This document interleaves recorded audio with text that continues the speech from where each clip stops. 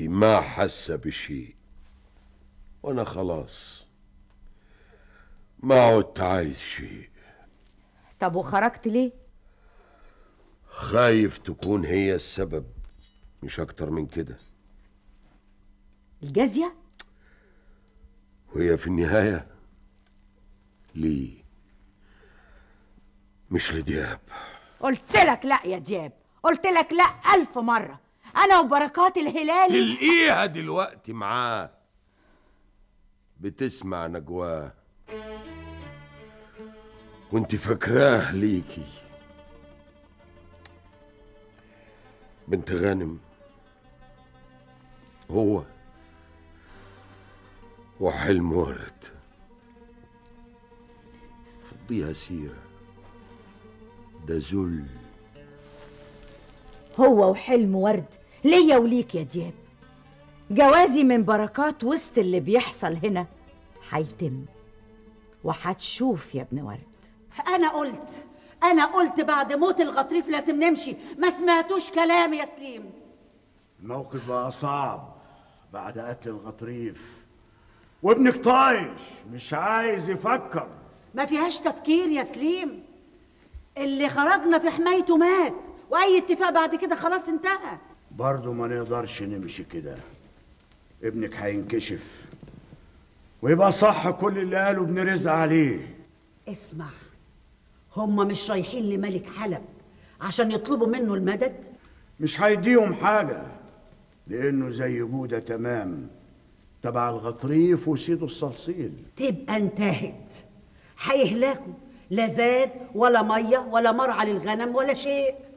لا وقال زحلان يا ام جودة يهلكوا معاهم. المهم ناخد ابننا ونرحل باللي لسه معانا يا سليم. أوه هتعملي كمان زي جودة.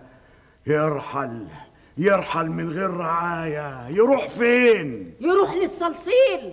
أنا مش هرحل إلا على تونس. حسن رجع من عند ملك حلب؟ لا مرجعش بس ملك حلب مش هيديله أي حاجة. أمير سليم حضر بني زحلان. هنرحل فورا. لتونس؟ أنا هفتحها من غيرهم. هم خلاص. انتهوا.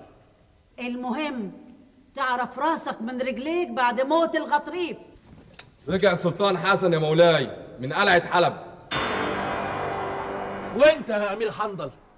أؤمر يا حسن. بلغ قبيلتك دريد يتولوا المراعي. كل القبايل هترعوا لمدة عشرة أيام. في جميع مراعي حلب لحد ما نرحل. واشمعنى يعني قبيلة دريد عشانها قابلت السلطان. وليه ما يتولاش المراعي قبيلة الفوايد؟ أنا كبير الفوايد وقبلت. المهم حققنا المراد. الملك بدريس وافق صحيح؟ يعني عايز تكدبني يا أمير بني عقال ده كلام أكابر واتكتب. ومش المراعي وبس. أمال إيه كمان؟ الزاد الزاد اللي شح بينا في الطريق. هنستلم بدله بكرة من ملك حلب اللي يكفي القبايل لحد تونس. حقيقي لو ده الاتفاق اللي تم يا حسن تكون عملت شيء كبير يا سلطان الهلايل وتبقى سلطان بجد وكبير. بكلمة مني تم كل شيء يا أكابر العرب. بكلمة! بن سلطان العرب حسن. بقى سلطان علينا كلنا كده؟ وبسمعة القاضي بدير في المشارق والمغارب مد ملك حلب يمينه للإخوة الكبار العرب. كده؟ من غير ما يسأل على قتل الغطريف اللي للصلصيل حليف؟ الحقيقة كان كريم أوي أوي أوي لدرجة إنه ما سألش عليه. لا سأل ملك زحلان عن قتل الغطريف. سأل وكان قلقان. كده ممكن يرجع في وعده ليه حق يقلق صحيح؟ لأن اللي حصل للغطريف ممكن يحصل له. في رسالة معاك يا قاضي.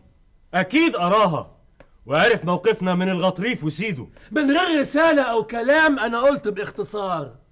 ده فعل ما يتحملش وزره يا كبار القبايل يتحمله وحده أبو زيد الهلالي؟ طار قديم ملناش شأن بيه. ليه نتحاسب عليه. ما كانش للكل طار وياه يا حسن. الغطريف دراع الصلصيل اللي بيضرب بيها الجميع وبيبدر بدور الخلاف والطمع بينكم. ما كانش فيه للكل طار وياه يا حسن. خلينا في المهم يا هلالي. خلينا في اللي حققناه. خلاص هيختفي شبح المجاعة. خلينا في الرحلة العظيمة لتونس. حيوا معايا ملك حلب بدريس. إيه ده؟ طبول الحرب؟ أكيد الهلالي طلب من الحرس يدقوا طبول الحرب بدري راضي. أنا لا قلت دقوا طبول ولا نفير الحرب.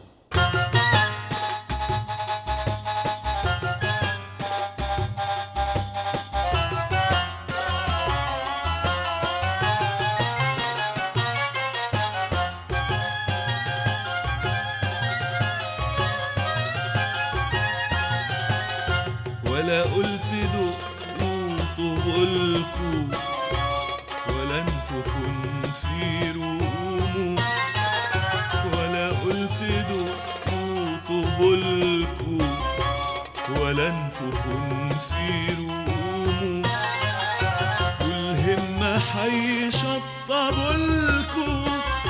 طلباتكوا بدريس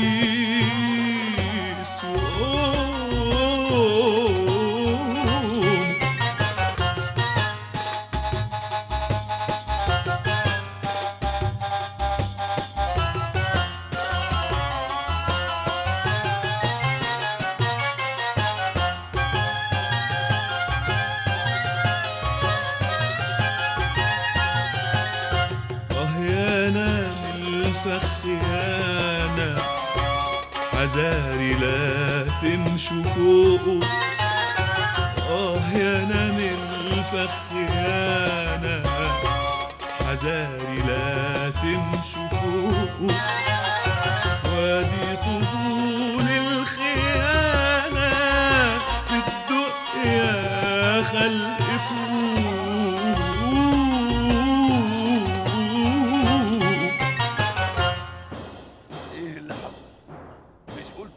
فرجت يا ولاد وزاد هيوصل بكرة الصبح. ده طبل حرب حقيقي يا حرب. حرب؟ حرب؟ يا ليل يا ليلي يا ليل يا ليلي الصوت جاي من هناك.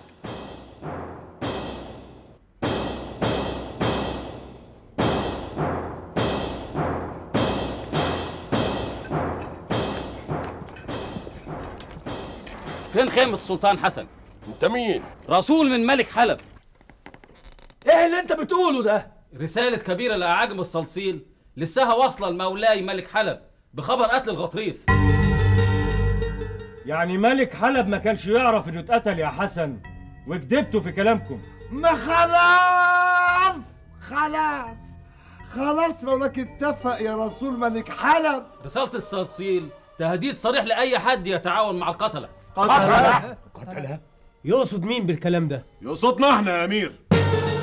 على كده بقى. الهلالي هيحولنا كلنا قتلة. يا كابر العرب مولاي طالب ترحله فورا قبل أول شعاع للشمس. ما كدبش الملك جودة. رد عليهم يا ابن رزق. رد عليه يا هلالي الرد المناسب مرة واحدة. أنا اللي هرد عليه هنا يا دياب. لا انت ولا هو يا حسن. قدامي يا رسول الملك. انت كمان عايز تقتله يا دياب. زي ما قتلت الغطريف. لا يا حسن أنا مش هقتله. أنا هوصله بنفسي لحد هناك قدامي. دياب! دياب! ما تقولوش حاجة لحد ما نتفق يا دياب.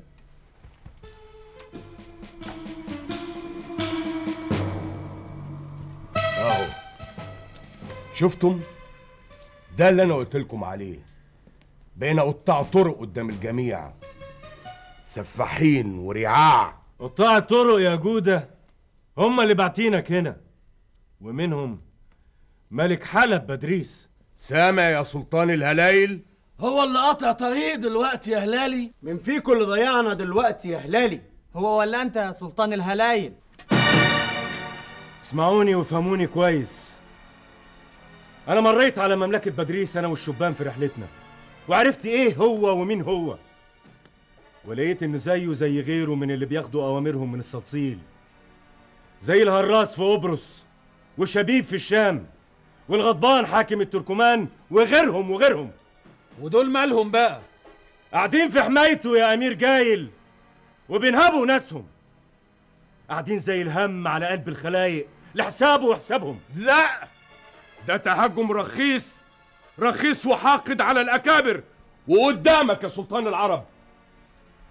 زيهم زيك يا جودة وزي جايل.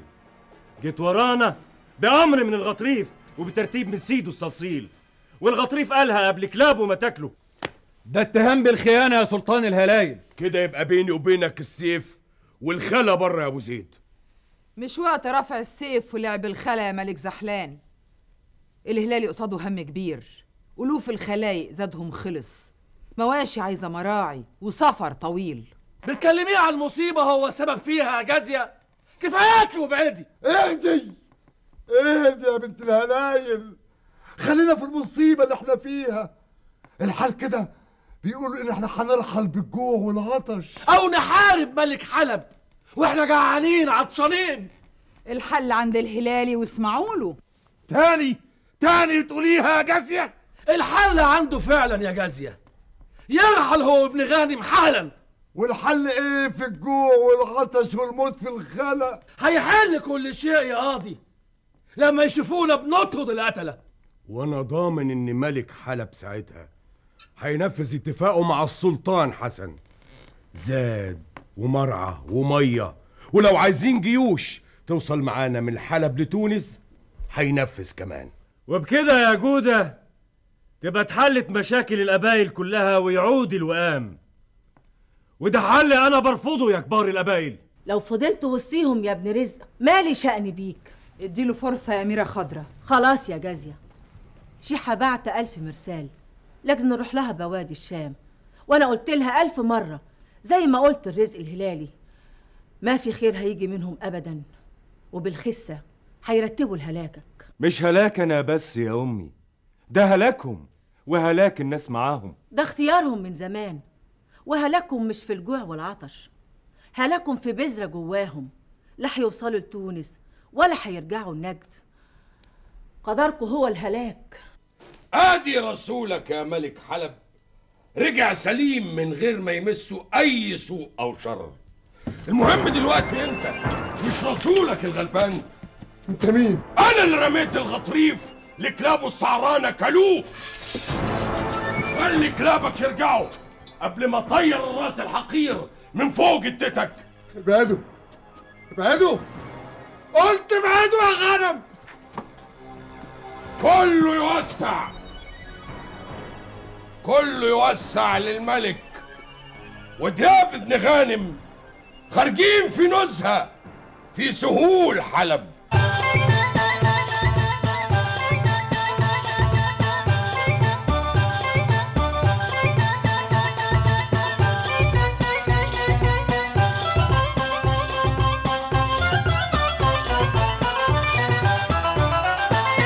يا دياب وتسلم يمينك بدريس بيرجف مأنفك يا دياب وتسلم يمينك بدريس بيرجف مأنفك قبل يزيد لا يمينك اخد أنا بعضي وأنفد. اخد أنا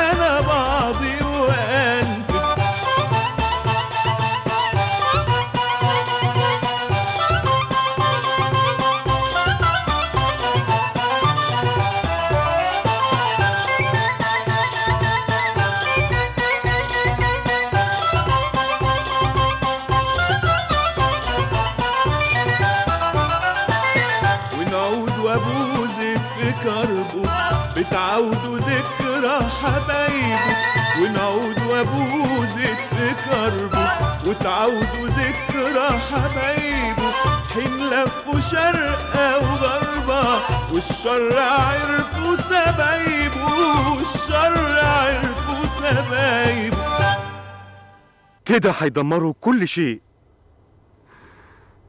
طب ذنبهم إيه الغلابة يا أميرة خضرة؟ وذنبهم إيه الشباب اللي سبتهم رهينة في إيد الزناتي؟ مرعي ويحيى ويونس. بس انت كنت من الأول يا مرعي وشايف الصورة. اللي شفته يا أبو زيد شيء فظيع. اللي شفته في كل الممالك اللي مرينا عليها ما كنت أتصوره. عالم عفن.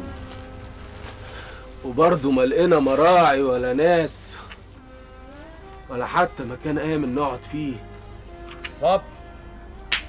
مولانا الدرويش قال الصبر. والصبر لحد فين؟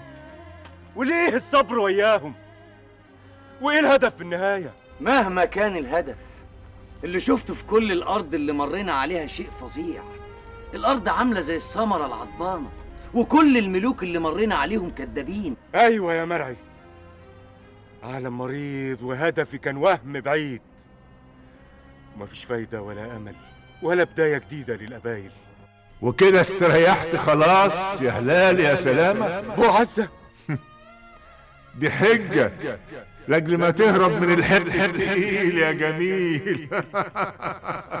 في حلق مرارة الكون وأنت بتهزق مني يا أبو عزة؟ من خاف سلم ومن يئس ريح دماغه. ما قلت اريح دماغي يا أبو عزة؟ ولا ادور لنفسي على السلامة من الأول. أنا بدور على اليقين. اليقين اللي أقدر أستمر بيه قصاد ده كله. غلب الغلابة الهلايل مش يقين. ضياع مرعي ويحيى ويونس في سجون تونس مش يقين. الفساد والشر حصرهم حواليا شديد يا أبو عزة. والأمل لو في لحظة يكسر دايرة الشر والفساد. يقين يا أبو زيد يا هلالي. أبو عزة!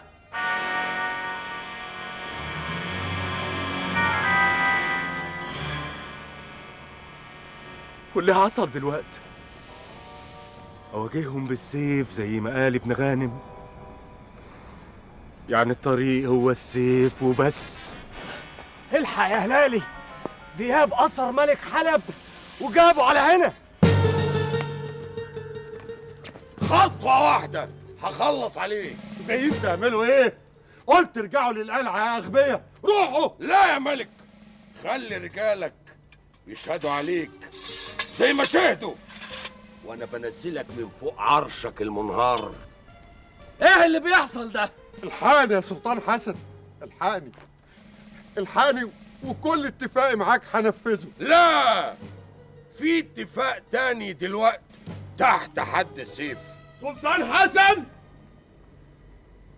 خلص ملك حلب من ايديه بسرعة. أنت خايف عليه يا ملك زحلان ولا خايف على روحك. كده هندخل في حرب ومصيبة. دي عاملة ألعن من قتل الغطريف يا دياب وكل القبايل هيدفعوا تمنها غالي. تمام؟ كده يتحقق حلمنا كلنا. حلم الهلالي. القبايل تتوحد وماله. ندفع الثمن وأنا بأمرك تسيبه يا دياب الصلصيل مش هيرحم حد. ملعون الصلصيل. ملعون الصلصيل وغيره. بس خلوه يشيل سيفه من فوق رقبتي. خلوه يشيل السيف وكل ما في حلب كل ما في الخزاين كل شيء في حلب هيتحول ليكم. دياب! هو ده الحل اللي انت عايزه؟ يسرق رعاياه أكتر ما هو سارقهم ويدينا؟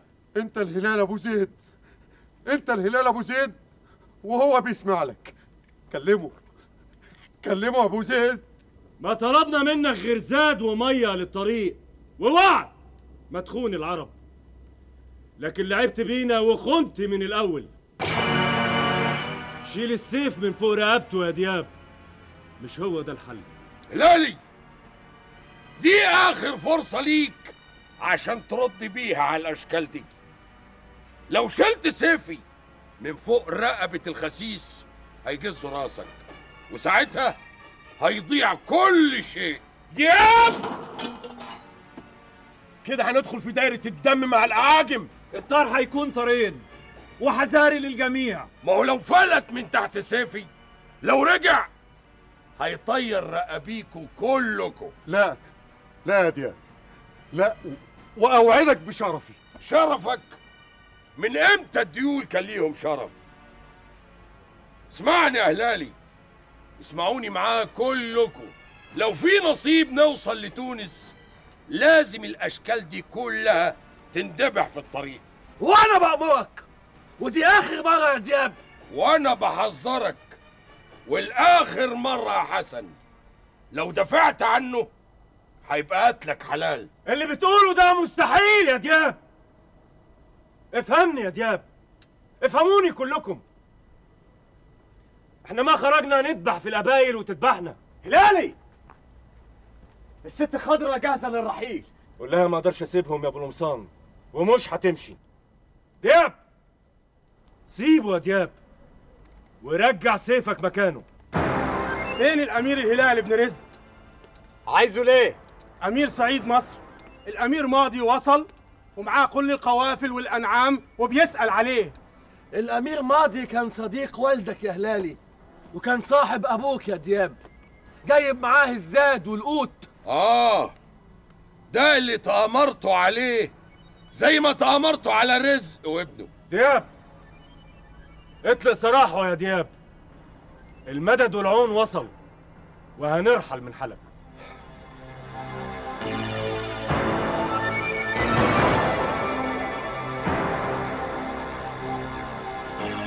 غلطة. وهتدفع تمنها غالي قوي قوي يا هلالي. أنت وكل اللي معاك.